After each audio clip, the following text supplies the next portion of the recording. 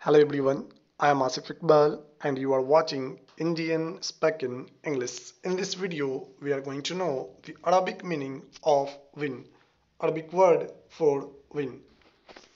And here is the meaning on the screen.